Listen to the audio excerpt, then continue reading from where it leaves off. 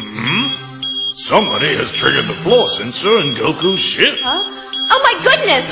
Who do you think it is? Well, there's only one way to know for sure. Now, let's hope this works.